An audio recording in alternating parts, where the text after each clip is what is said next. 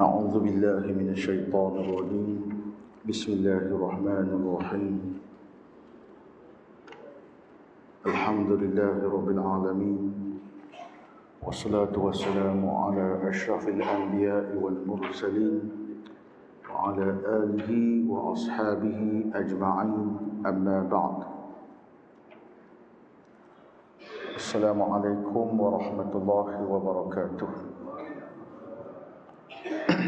InsyaAllah kita sambung pada surah Al-Baqarah ayat 120.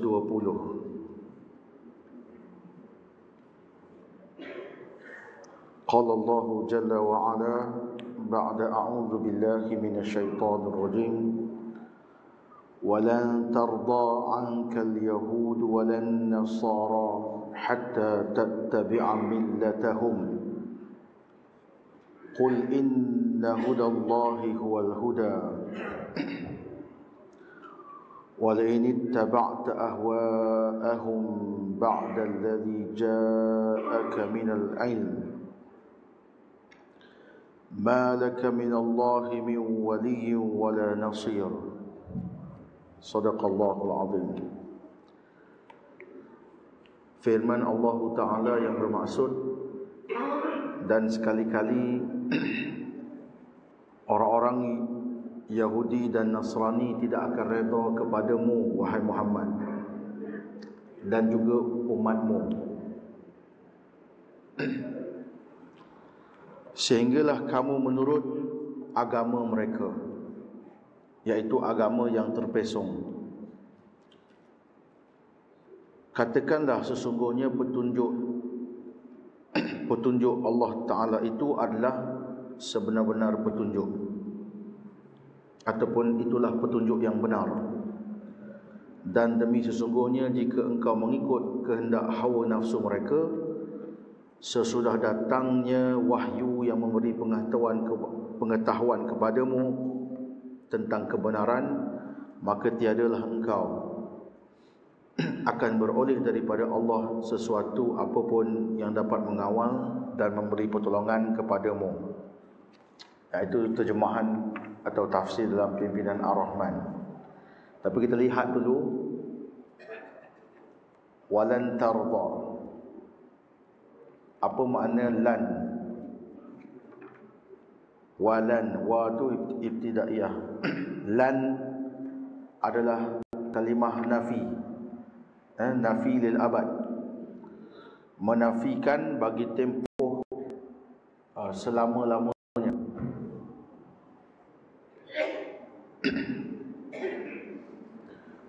Ada nafi yang bersifat sementara atau seketika seperti la.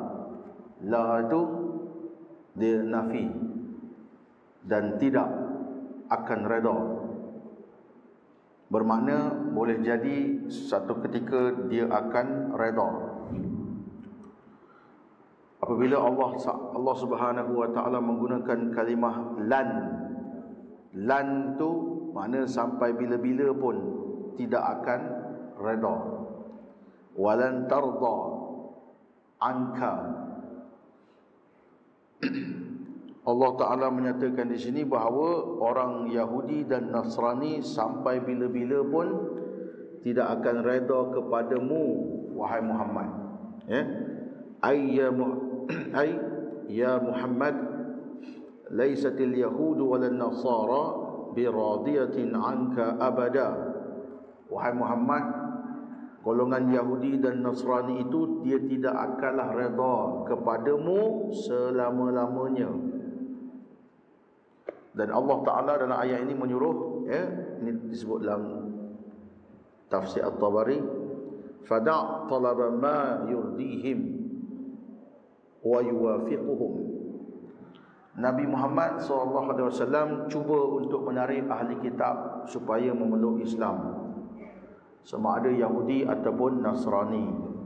Baginda cuba untuk untuk melakukan apa-apa pendekatan yang membolehkan Yahudi dengan Nasrani terima Islam.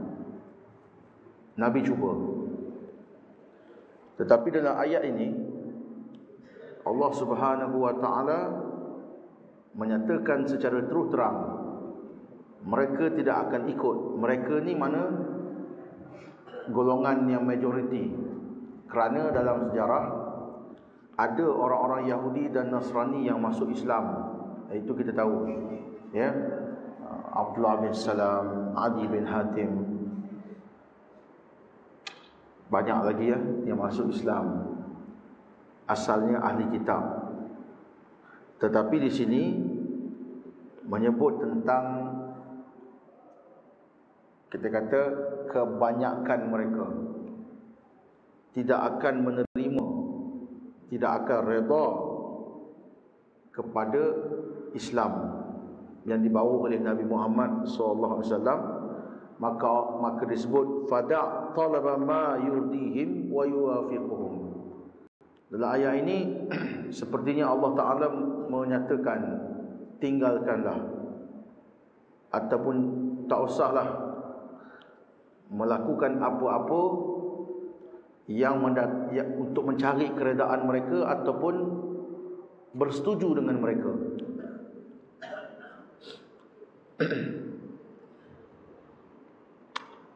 Wa aqbil ala talab ala talab ridallahi. Sebaliknya carilah redha Allah. Ha. Jadi Nabi Muhammad SAW dan kita umatnya diperintahkan cari redha Allah. Jangan cari redha orang-orang Yahudi dengan Nasrani. Semata-mata kita nak dekatkan kita dengan dia, maka kita cubalah buat benda-benda yang nampak hampir sama macam dia.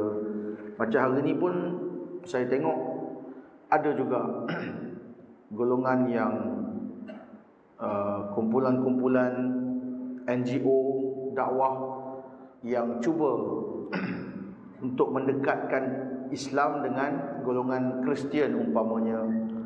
Sehingga dalam sambutan Christmas eh ada buat ucapan we love Jesus Christ apa semua kan. Uh, pendekatan itu pendekatan. Kemudian memanggil mereka dengan nama uh, not yet muslim. Not yet muslim mungkin kaedah-kaedah ini serupa macam hendak cuba mendekatkan diri dengan mereka dan men, men, dan mencari keredaan mereka bahkan menggunakan istilah-istilah yang biasa dalam agama mereka Jesus, Moses, Isaac, Gospel. Sedangkan Quran mengajar kita Injil, Gospel disebut. Allah, God, God. Nak pergi dekat dengan mereka, maka kita panggil God had states in the Holy Book. Ah, nampak? Nak cakap tu biar kata apa mereka ni reda kepada kita dengan kita cuba mengikut istilah-istilah agama yang mereka pakai. Jadi kalau kita baca dalam tafsir ni, eh, Imam At-Tabari memahami ayat tadi dengan makna wahai Muhammad Yahudi dengan Nasrani takkan reda pada kamu sampai bila-bila Maka tinggalkanlah cuba mencari keredaan mereka ataupun cuba nak menyetujui ma. Nak cari benda-benda yang sama macam mereka tu. Sebaliknya carilah redha Allah. Yang Allah Taala seru kita apa? Allah Taala seru kita dengan ahli kitab ni, ta'alu ila kalimatin sawa bainana wa bain bainana wa bainakum. Alla na'budu illallah. Patutnya kalau kita nak cari perkara yang sama antara kita dengan dia ialah apa yang Quran tegaskan. Ta'alu ila kalimatin sawa. Marilah kamu kepada kalimah yang sama antara kami dan kamu. Bainana wa bainakum. Apa benda yang sama? Iaitu asalnya semua nabi-nabi mengajar Allah na'budu illallah. Bahawa kita tidak akan menyembah beribadat kecuali hanya kepada Allah. Yang itu tak apa. Yang itu tak apa. Sebab Quran yang suruh. Al-Quran yang perintahkan kita. Ha, tapi kalau kita nak berdakwah kepada mereka sampai kita ni banyak ikut dia. Berbanding dengan mengajak mereka ikut kita. Yang ni masalah. Ya. Ha, jadi jangan terlalu uh, jangan terlalu mengharap sesuatu yang Al-Quran sudah nyatakan walan tarda. Ya. Ha, wad'uhum ila ma ba'athaka Allah bihi min al-haq dan serulah mereka itu kepada apa yang Allah Ta'ala membangkitkan engkau mengutuskan engkau dengannya daripada kebenaran. Jadi kita ni kalau nak apa nama uh, berdepan dengan ahli kitab kita kena ajak dia kepada agama Islam. Bukan kita banyak sangat bertoleransi toleransi sampai tak nampak. Kamu ni nak dakwah Islam ke kamu nak masuk Kristian Ya? Hari ini kalau kita lihat setengah orang yang konon-kononnya nak berdakwah kepada ahli kitab, kita tengok dia tu macam promote Kristian. Dulu ada sebuah filem dibuat konon-kononnya dakwah Islam. Tetapi dalam filem itu banyak elemen-elemen Kristian yang ditonjolkan lebih daripada aspek-aspek dalam agama Islam tu sendiri. Jadi sebenarnya filem itu sampai saya baca satu artikel dalam surat khabar uh, dakwah Islam atau dakwah Kristian filem itu. Pengarah filem itu dah meninggal dah. Ha, jadi konon-kononnya nak mendekatkan diri dengan ahli kitab sebenarnya kita ni disuruh menyampaikan kepada kita kepada mereka agama kita. Bukan kita nak bagi ikut dia ya. Fa innahum in aslamu wa dakhalu fi dinik. Ijtama'u ma'aka 'ala al-islam. Dia kata sesungguhnya mereka itu sekiranya mereka itu masuk Islam. Aslamu makna mereka berserah diri. Ya. Wa dakhalu fi dinika. Lalu mereka memasuki agamamu dan berhimpun bersama-samamu dengan agama Islam. Ha, itu yang kita disuruh kalau kita berhubungan dengan ahli kitab, kita sebenarnya disuruh mengajak kepada agama kita, ha, bukan kita yang mengikut agama mereka. Walan yarda anka hatta law ittaba'ta millatahum li'anna al-yahudiyyah ضد النصارى والنصرانية ضد اليهودية ولا تجتمع الأمتان ولا تتفقان على شخص واحد في حال واحدة jadi Imam At-Tabari mengatakan bahawa mereka ni takkan reda kepada engkau sehinggalah kamu mengikut agama mereka dan sesungguhnya agama Yahudi bercanggah berlawanan dengan agama Kristian dan orang-orang Kristian juga agama mereka bercanggah dengan agama Yahudi. Tak mungkin kedua-dua ni boleh bersatu. Kerana kalau kita lihat agama Yahudi ni memang dia tak terima Nabi Isa alaihissalam. Tak terima langsung. Orang-orang Kristian pula dia ambil ajaran eh, diterima kitab-kitab sebelum Nabi Isa sebab tu dalam Bible dia ada bahagian di Old Testament Al-Ahdul Qadim. Mana kitab-kitab yang dikatakan daripada Yahudi ni diambil letak pada bahagian pertama.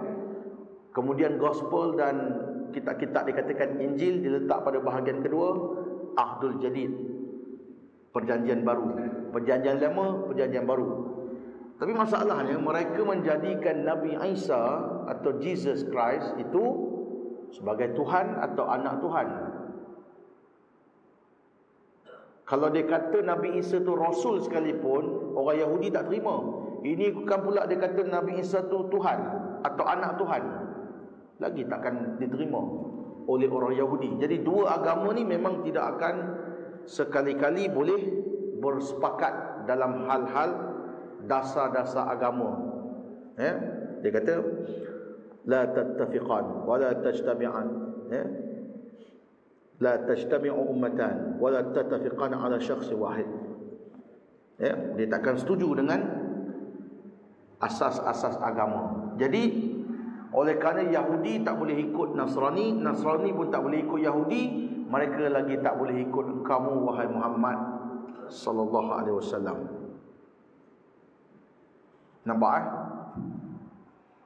jadi apa yang nak diberitahu di sini ialah hatta tattabi'a millatahum.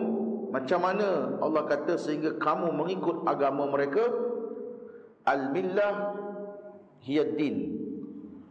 Millah adalah din agama. Tetapi ada perbezaannya. Ada perbezaan antara millah dengan din. Kalau tuan buka dalam Quran millata Ibrahim disebut. Millah Ibrahim Nabi Ibrahim alaihissalam. Agama Ibrahim. Disebut perkataan millah. Dia tak sebut din.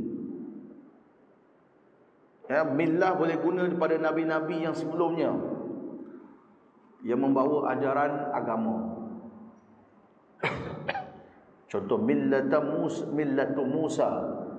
Millatu Ibrahim boleh guna untuk Nabi. Tetapi tak ada tuan-tuan jumpa millatu Muhammad dalam Quran. Yang ada din. Itu pun tak disandar kepada Nabi Muhammad wasallam tetapi disandarkan kepada Allah. Jadi ada beza millah dengan din. Sebab kalau din inna dina indallahil islam hanyalah din yang diterima di sisi Allah ialah Islam. Din ya. Kalau macam kita ingat lagi kita baca dulu tafsir surah apa Al-Fatihah bila Allah kata maliki yaumiddin eh kama tadinu tudanu sebagaimana seorang itu menjalani kehidupannya dia akan dibalas seperti itu din adalah macam mana cara kita hidup ya? Daripada mula kita bangun tidur sampai kita tidur semula semua yang malaikat catat apa yang kita buat itu adalah din. Ya tuan-tuan? Tuan kita bangun tidur ni pergi masjid solat subuh. Ya lepas tu kita duduk dengan kuliah lepas tu kita balik lepas tu kita buat urusan hantar anak pergi sekolah. Nanti zuhur kita datang solat asar maghrib isyak dan kita bekerja kita berurusan di sana sini kita pergi pasar kita bergaul dengan masyarakat semua ini din. Kalau apa yang kita buat ni menepati apa yang Allah Taala turunkan dalam perkara syariat dan di, diajar kepada kita oleh Nabi Muhammad sallallahu alaihi wasallam maka din kita ini ialah dinullah dinul Islam agama Islam agama yang diajar oleh Allah dan Rasul. Apa makna millah? Kalau terjemah bahasa Melayu, millah juga dengan makna agama, tapi ada beza. Kerana millah ni bila disandarkan kepada mana-mana nabi terdahulu seperti Nabi Ibrahim dan Nabi Musa, maknanya apa? Dia boleh bermakna saki baki ajaran. Sebab itu orang-orang musyrikin Mekah dia mengamalkan millah Mu'a Ibrahim wa Ismail. Dia mengamalkan saki-baki ajaran Nabi Nabi Ibrahim dan Nabi Ismail. Tetapi dengan cara yang salah. Tapi dia tetap panggil itu millat millat Ibrahim Hanifah. Agama Ibrahim yang lurus. Sekadar saki-baki mana yang ada. Setakat mana yang mereka tahu, mereka amalkan. Begitu juga dengan Nabi Musa AS. Setakat mana sakit baki ajaran Nabi Musa yang dipahami oleh oleh orang-orang Yahudi, mereka beramal. Boleh jadi millah itu benar. Tidak diselewengkan. Boleh jadi millatu Ibrahim atau millatu Musa telah di diubah suai. Jadi tuan-tuan nak faham ayat ni, walan tarda ankal yahudu walan nasara hatta tattabi'a millatahum Sekali-kali golongan Yahudi dan Nasrani tak akan reda kepadamu wahai Muhammad dan umatmu sehingga kamu ikut millah mereka. Allah tak kata hatta tatabi'a dinahum. Kerana din dia pasti pasti tepat dengan apa yang Allah Taala ajar dan apa yang ditunjukkan oleh Nabi Muhammad sallallahu alaihi wasallam. Cara kita tidur, makan, minum, berkahwin, berjual beli, solat, ibadat, masuk semua din. Tetapi bila kata millatahum makna apa? Yang ini kita kena faham. Jangan kita ingat sehingga kita masuk agama Kristian atau kita masuk agama Yahudi baru mereka reda. Allah Taala menyatakan hatta tattabi'a millatahum cukup tuan-tuan. Macam mana mereka melakukan terhadap agama Nabi Musa? Macam mana orang Kristian melakukan terhadap agama Nabi Isa? Dan macam mana kita umat Nabi Muhammad SAW memperlakukan terhadap agama Nabi Nabi Muhammad Sallallahu Alaihi Wasallam. Ada tak Nabi Isa mengajar kita atau mengajar pengikut dia? Semayang hari Ahad. Seminggu sekali. Mendengar khutbah berdoa balik. Seminggu sekali. Jawapannya tak ada. Nabi Isa solat tiap-tiap hari. Umat Nabi Muhammad SAW ada tak Nabi ajar kita solat seminggu sekali? Jumaat saja Jumaat je semayang. Hari lain tinggal semayang. Datang Jumaat Dengar khutbah Semayang dua rakaat Balik. Ada tak Nabi Muhammad SAW ajar kita macam tu? Tapi ada tak orang Islam buat macam tu? Solat lima waktu tinggal Jumaat seminggu sekali semayang Bermakna dia sudah tidak ikut din Dia telah ikut millah Dia anggap dirinya adalah pengikut Nabi Muhammad atau lagi teruk lagi ada manusia dia solat setahun sekali semaya raya. Semaya raya sebenarnya. Lain semua tinggal. Ada tak Nabi Muhammad SAW mengajar kita puasa tak semayang? Tapi ada tak orang buat macam tu? Ramai. Puasa Ramadan, semayang tinggal. Ada tak Nabi SAW ajar kita agama ni pakai masa lahir, nak kahwin mati. Tak ada ajar macam tu. Tapi ada tak orang Islam buat macam tu? Ada. Tuan-tuan, orang Kristian pun Nabi Isa tak ajar dia agama pakai masa lahir, baptize. Nak kahwin, cari gereja. Nak mati, cari padri untuk doa dan tanam. Waktu lain tak pakai agama. Dalam hidup yang lain tak pakai agama. Dia pakai tiga waktu je. Lahir, kahwin, mati. Ada tak orang Islam berkelakuan demikian terhadap syariat Nabi Muhammad sallallahu alaihi wasallam? Dia pakai agama ni lahir, buat akikah, nak kahwin, cari pak imam, cari orang nak guna kalau boleh nikah dalam masjid, kita kata buat kat luar, eh tak, nak dalam masjid, nak berkat, nak buat dalam masjid. Orang Kristian pun nak kahwin dalam gereja. Dia nak ambil berkat juga dalam gereja, rumah ibadat. Kita pun nak semayang, nak nikah dalam masjid. Hukum hakam langgar habis. Dengan dedah auratnya, dengan keadaan haid masuk masjid, masuk. Mati. Mati pun cari agama, cari ustaz, cari cari apa imam, cari untuk siap mandi jenazah. Kalau kita dah amalkan agama macam mereka, itulah dia millatahum. Faham tak? Hatta tattabi'a millatahum. Kalau orang Islam dah perangai macam dia, minum arak pun boleh, judi pun boleh, menipu pun boleh. Agama dipakai pada waktu-waktu tertentu, maknanya orang Islam sudah mengikut millatahum bila keadaannya demikian sebab tu kita lihat orang Yahudi, Nasrani, ahli kitab, musuh-musuh Islam, dia tak kisah orang Islam jenis macam ni. Sebab sama macam dia. Perangai sama. Minum arak, berzina, itu, ini.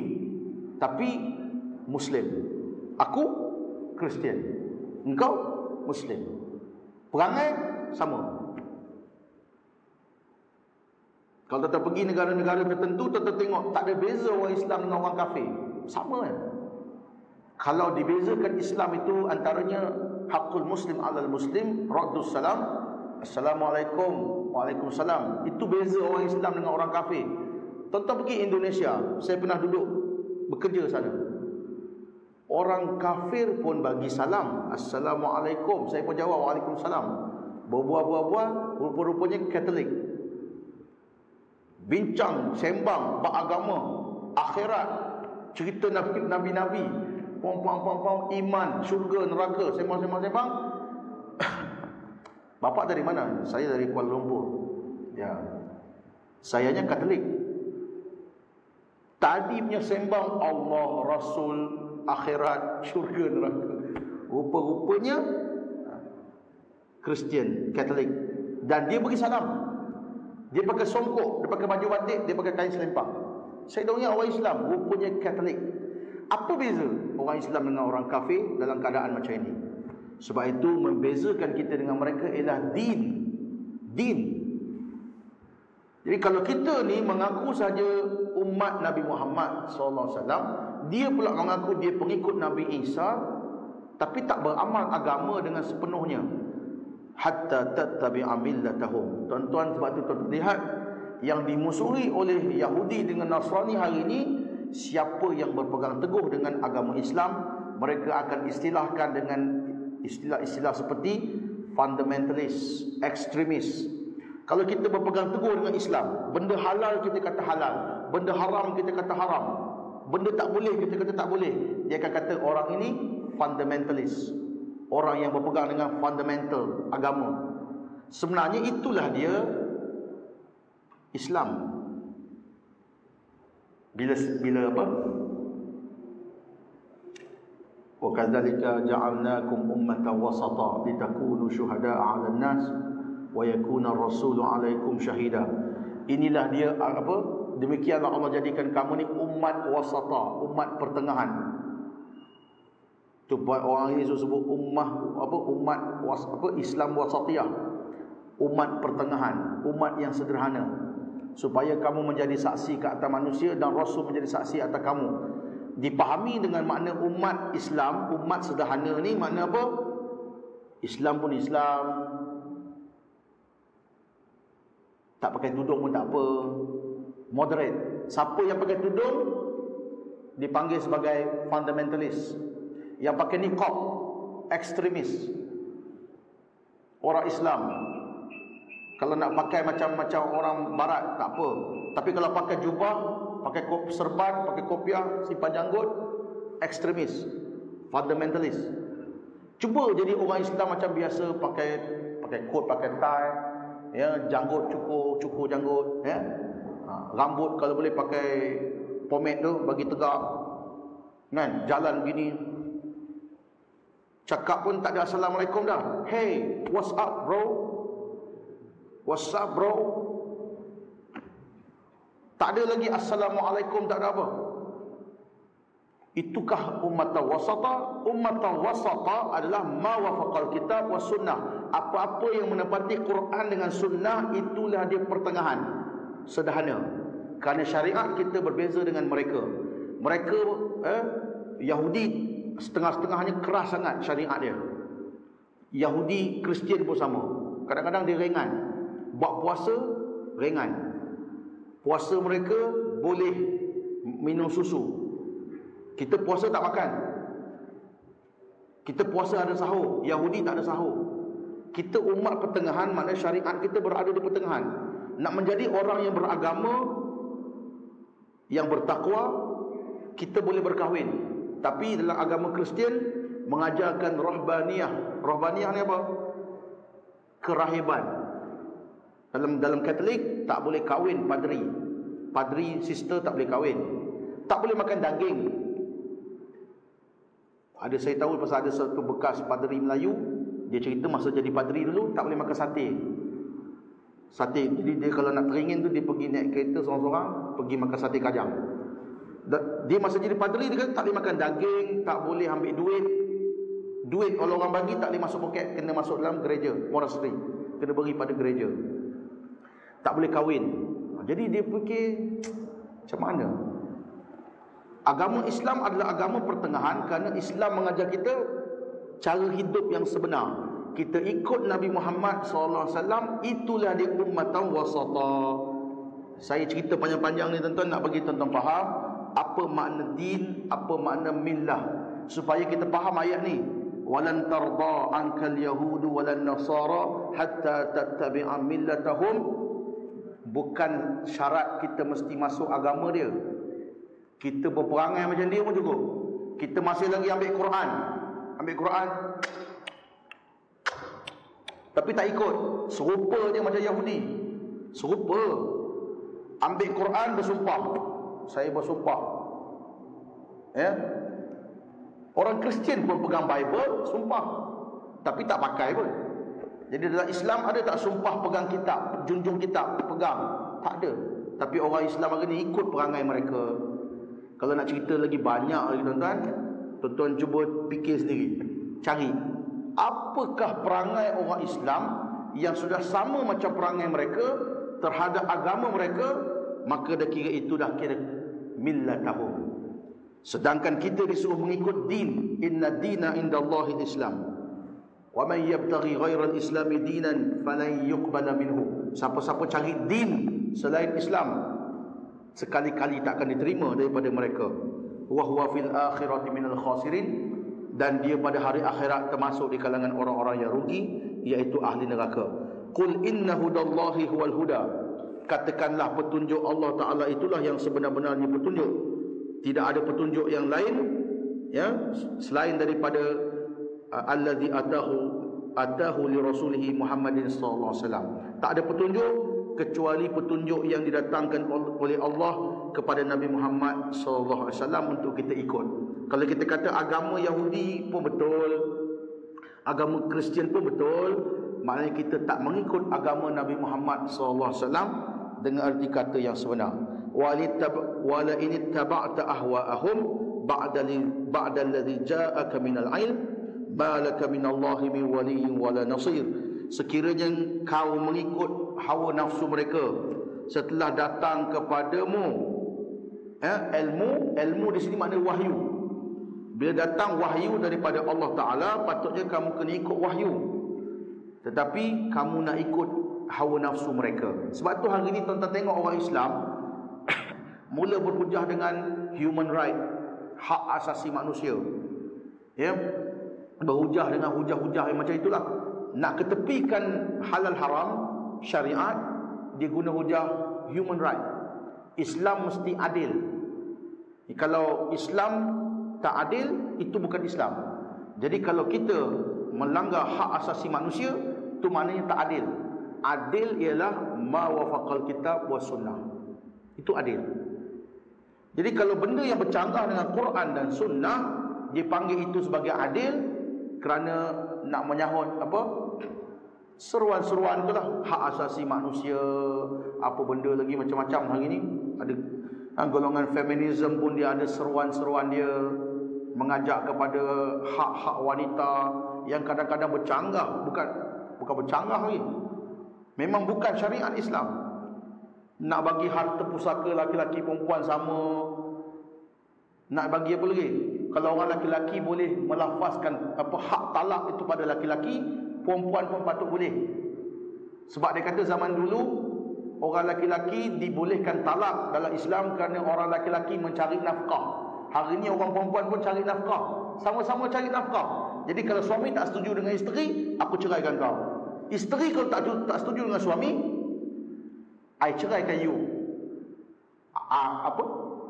Saya ceraikan awak benda apa ni kan konon-kononnya itulah adil. Jadi hari ini banyaknya seruan-seruan yang konon-konon orang Islam pun nak nak mengambil hati masyarakat dunia ya barat. Maka ayat Quran ini menyebut wala ini taba'ta ahwa'ahum. Kalau ikut hawa nafsu mereka selepas datangnya ilmu kita belajar syariat, kita belajar Quran, kita belajar hukum hakam Islam. Tiba-tiba kita nak ikut kehendak-kehendak mereka, malaka minallahi min waliyyin wala nasir, tidak akan ada bagi engkau ya. Apa namanya? Daripada Allah Taala itu perlindungan dan juga pertolongan.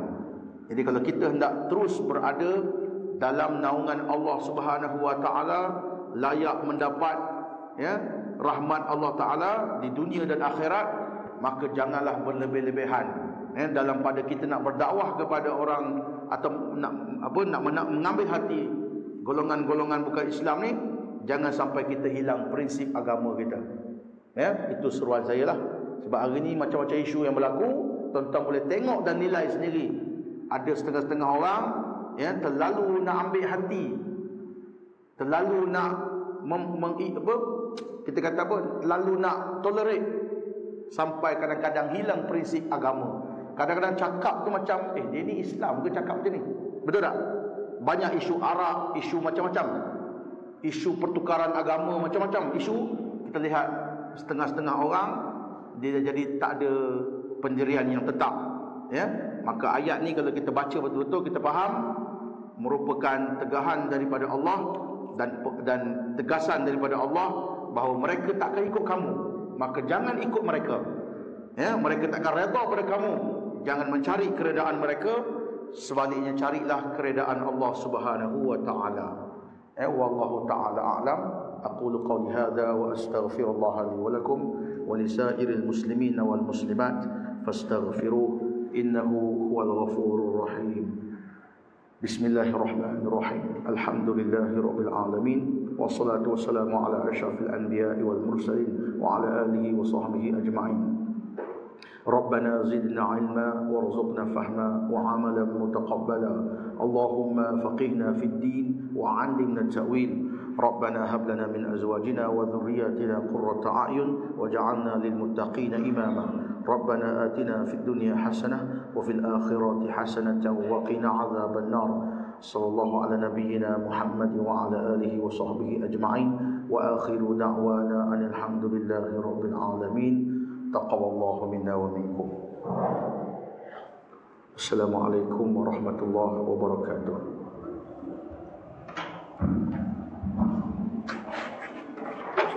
Yes,